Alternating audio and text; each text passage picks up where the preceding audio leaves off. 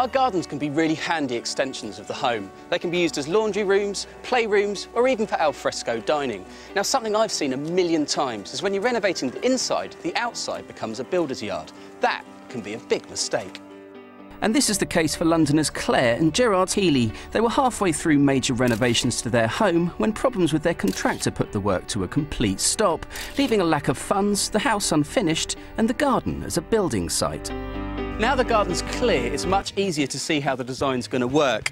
Now, Claire and Gerard had this platform built outside the kitchen, which, to be honest, is looking pretty shabby. So we're going to deck it and put a nice handrail at the front, which is going to make it a nice feature of the garden. Down here, we're going to have quite a decent-sized lawn. Now, they've got three children, so that's going to give them lots of space to run around and play. Now, the main feature in this garden is going to be up here at the back. We're going to put a seating area, which is basically going to be a contemporary take on an old-fashioned classic, the pergola. The decking is the first thing to go down. We're fortunate that the viewing platform is level and sturdy, which makes laying the decking a lot quicker and easier. Perfect when time is of the essence. Claire was really keen to make this platform safe for baby William. Now you step straight out of the kitchen onto a brand new deck. Now what it needs is a really stylish balustrade around the outside, so when she looks out from the kitchen, she can see straight into her brand new garden. This handrail is pretty easy to install. We've ordered the rail to the exact size we need, so we just have to slot and screw it into place. To stop any topples from the little ones, we're adding this toughened glass, which is extremely durable but looks sleek and modern, and will allow plenty of light to flood through too.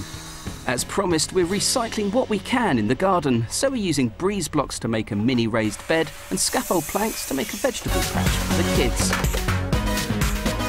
Although the garden is really taking shape, there are a few finishing touches. Bark chip goes down near the treehouse and lawn as a soft cushion for any tumbles. The children are lucky enough to live next door to a playground, so Claire and Gerard can get more adult space with these seating areas. Tall bamboos go in, which create height, and these are really easy for the family to look after too. I'm here in our recycled vegetable plot. We've used the old scaffold boards to raise the level of the soil up. We've got this fantastic old butler sink, and we've got them some vegetables for them to grow. We've got some tomatoes, some peppers, and loads of fantastic herbs. Now, I'm not going to plant them. We're going to get the kids to do it. I've got just the tools. It's been a lot of hard graft, but what a difference 48 hours can make.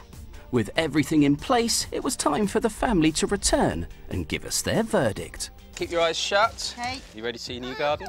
Yeah. Open your eyes. Blimey. Oh my god.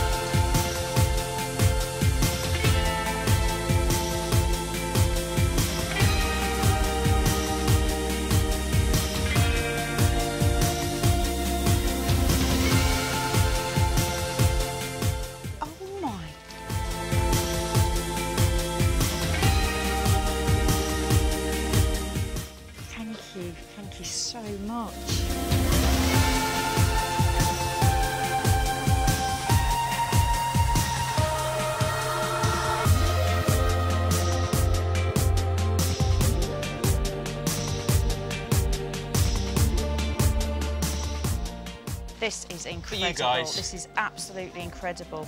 I mean, I thought of somewhere for us to sit and have a glass of wine, but I always assumed we would just be up here and the garden would be the children's. And now it's, you know, it's something for us as well. It's Yeah, brilliant. absolutely. It's absolutely brilliant. One more question before I go. Yep. Do you still hate your garden? No. No we way. love it. Absolutely love it. What do you think? Yeah. Awesome.